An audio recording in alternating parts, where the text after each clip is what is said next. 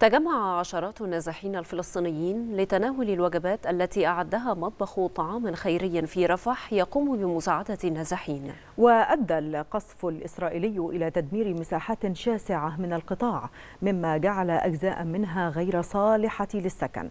وسط تشريد أكثر من 85% من سكان غزة.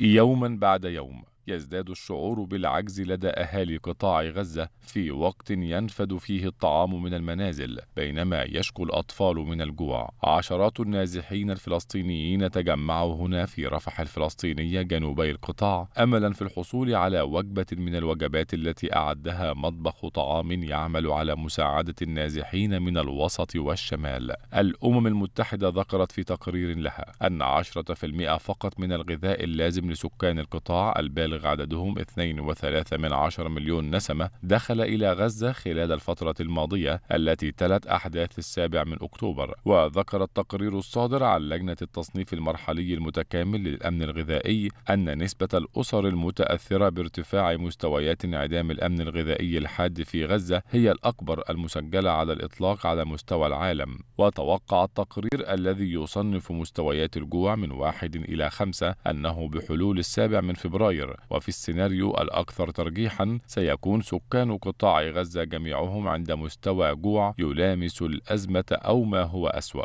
وأصبح الجوع المشكلة الأكثر إلحاحا من بين المشاكل العديدة التي تواجه مئات الآلاف من الفلسطينيين النازحين في غزة. إذ لم تتمكن شاحنات المساعدات من جلب سوى جزء صغير مما هو مطلوب بسبب التعنت الإسرائيلي كما أن التوزيع أصبح غير متكافئ بسبب فوضى الحرب.